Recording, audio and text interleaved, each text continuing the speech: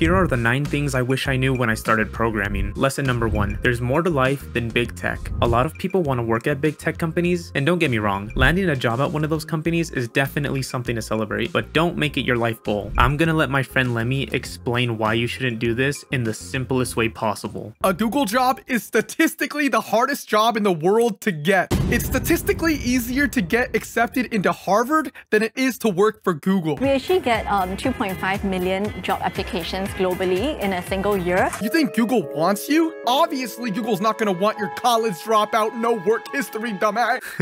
Thanks, Lemmy. You guys should watch his videos too, by the way. I hope you guys understand now. Anyways, while it has its perks, especially in terms of pay, the food, and benefits, the food, but if you're learning programming because you love it, you love the art of creation, the thrill of solving problems, then big tech might not be for you. Since big tech is, you know, big, you'll find yourself working on very specific parts of a large system. Maybe you'll learn how to architect large systems, but if you're looking to leave an impact, that might not happen there. Big tech is also not sunshine and rainbows. Some companies have been known for the terrible work-life balance, where it's not uncommon that an employee will quit within the year. However, smaller companies and startups offer a playground of opportunities. You're not just a cog in the machine, you'll often find yourself in different roles, from planning, designing, and implementation, and you'll go through all the steps in the development process. The work might also be more fulfilling, and come on, it's probably going to be more fun, but at the same time, do not let these companies take advantage of you. Before you get obsessed over working at a big tech company, or you're discouraged that you never got hired or you got rejected from them, I want you to take a moment to reflect on why you even got into programming in the first place. If it's about growth and hands-on experience, smaller companies might be more suited for you. If you want to relax and just work your 9 to 5, you might want to check out non-tech companies like banks, government jobs, and healthcare, anything that's not related to tech. And if you're in it for the big bucks, then um,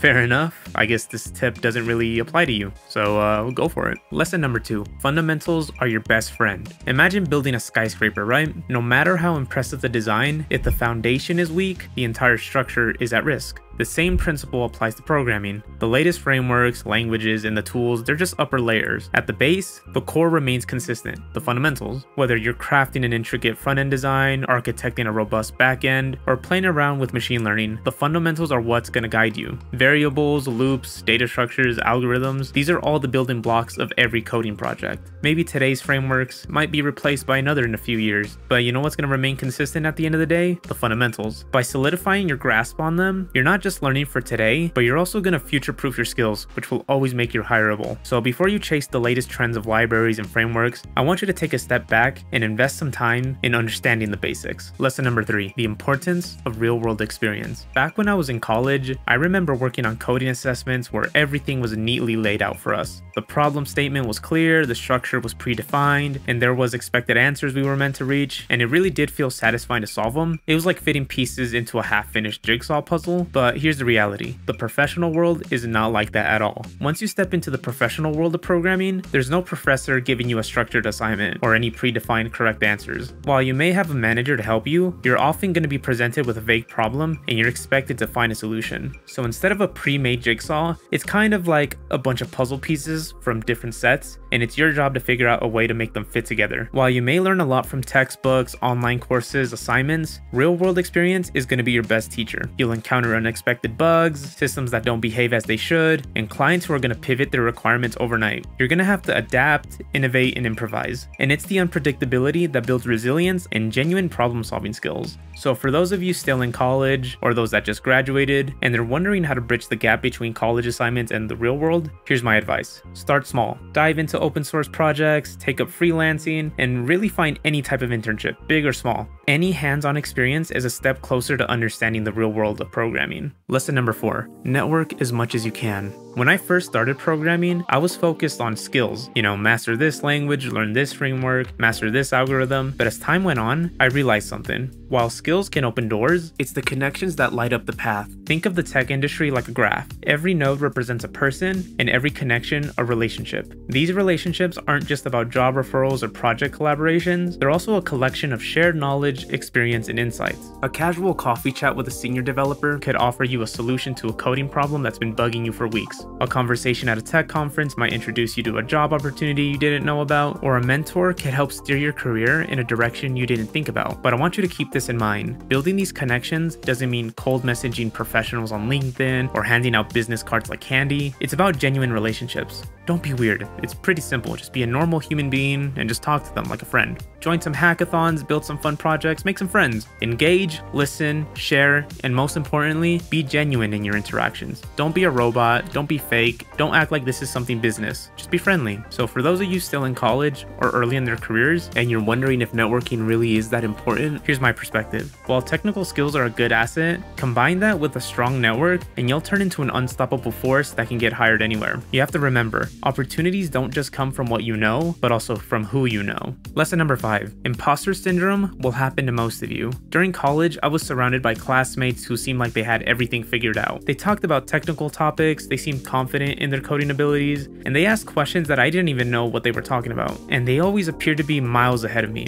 It felt really easy to feel overshadowed, you know, underqualified, and I always wondered if I missed some class that just turned you into a programming prodigy. And that feeling didn't just disappear during my internships either. My coworkers were very skilled while I was just trying to keep up with the most basic things. I always had some doubts like, do I really belong here? Is programming for me or I'm just not good enough? Imposter syndrome eats you away. It's fueled by doubt. It convinces you that you've lucked into your position rather than earning it. And trust me, even the most accomplished, smart programmers have felt this way at least once. Here's my advice. It's important that you recognize and acknowledge imposter syndrome as soon as you can. You have to understand that you're not alone with these doubts. It's a struggle that everyone faces. It's okay to not know everything. Share your feelings with someone close or other programmers, and you'll realize that many of them have walked in your shoes. You just have to remember that your path is uniquely yours. Every challenge, every problem you solve, every project is a testament to your growth and potential. Lesson number six learn how to collaborate and work as a team. In my experience, an aspect that a lot of programmers don't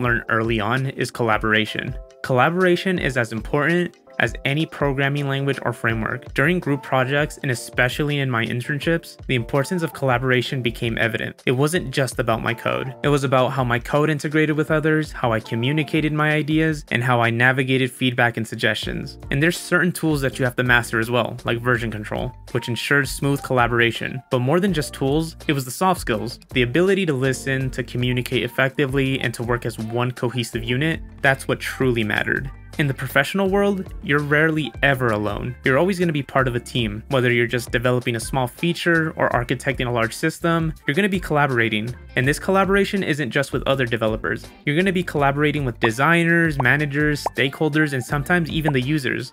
So it's essential to understand your technical expertise will open doors, but your ability to collaborate will define the impact you make within those doors. So invest some time mastering tools like Git, but more importantly, nurture your soft skills. Engage in group projects, participate in some team activities, and always be open to some feedback. Lesson number seven, specialization versus generalization. When I first started learning programming, in my mind, there were so many things about programming you could get started with. Web development, machine learning, game development, mobile development, there's a lot to choose from. There's a lot of languages, lots of frameworks, and technologies. Where you're faced with a problem, where do I start? Here's my advice. Start by being a generalist. In the beginning, learn some programming fundamentals, then explore some areas of programming. Learn some front end, some back end, maybe some mobile development, and get into game development development if you love video games. I really think this is important. You'll discover what you really love. Once you find that niche, the area of programming that you love, start specializing. Dive deep become an expert because the reality is, while generalists can adapt and bring a broad perspective, it's the specialists who become invaluable in their domain. Their depth of knowledge and expertise makes them irreplaceable,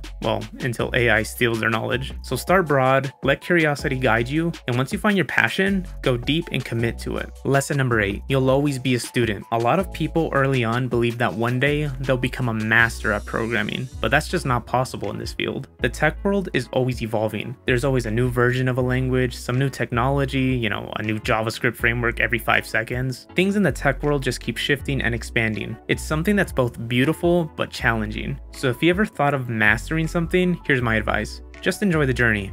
Enjoy the journey, not the destination. Enjoy that this is a field where you'll always get the opportunity to learn, to grow, and evolve. You'll always be a student who gets to experience a fresh challenge and learn something new. While you may never feel like a master in the traditional sense, as long as you commit to lifelong learning, you'll become a master of adaptability, resilience, and evolution. And in the world of tech, these are the traits that truly define a master. And one of the best ways to truly learn and understand programming is using project-based learning. In college, you'll spend countless hours on theoretical concepts, algorithms, data structures, and while it did lay a solid foundation, it was only when I started implementing them in projects that's when it really clicked in and I learned them. You see, there's a big gap between understanding a concept and applying the concept. I remember my first programming project, you know, the classic to-do app. Once you know the fundamentals, it's pretty easy to plan and design it, but when you implement it, that's when you're truly gonna learn. The process of turning an idea into a functional application was so exciting. It wasn't just about writing code, it was about problem solving, debugging, user experience, and just the satisfaction of seeing my creation come to life.